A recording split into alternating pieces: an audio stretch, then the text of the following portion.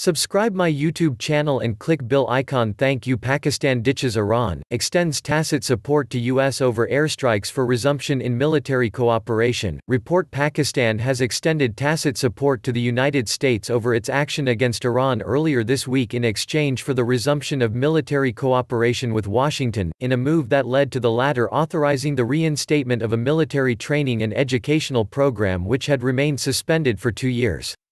Citing intelligence sources, Asian Lite reported that Islamabad, which blamed Iran's Revolutionary Guard Corps commander Major Gen Qasem Soleimani for Baloch militant attacks against its forces, found an opportunity to kill two birds with one stone when Washington sought its support after the airstrikes near the Baghdad International Airport. It may be noted that the Washington's announcement to authorize the resumption of international military education and training IMET for strengthening military-to-military cooperation on shared priorities and advance U.S. national security came hours after U.S. Secretary of State Michael Pompeo spoke to Pakistan Chief of Army Staff COAS Qamar Javed Bajwa in the aftermath of the airstrike. Pakistan's Chief of Staff General Bajwa and I spoke today about U.S. defensive action to kill Qasem Soleimani. The Iran regime's actions in the region are destabilizing and our resolve in protecting American interests, personnel, facilities, and partners will not waver, Pompeo had tweeted.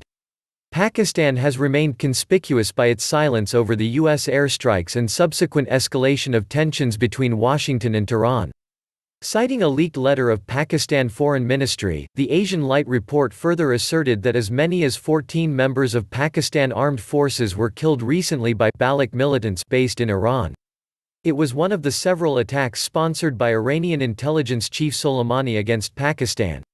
The IMET program was frozen for Pakistan by the Trump administration two years ago due to Islamabad's lack of action against terror groups.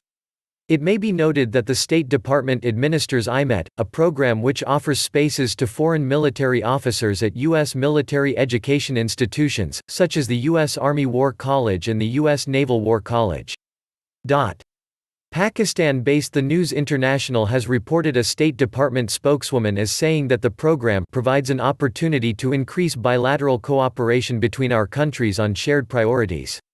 We want to continue to build on this foundation through concrete actions that advance regional security and stability.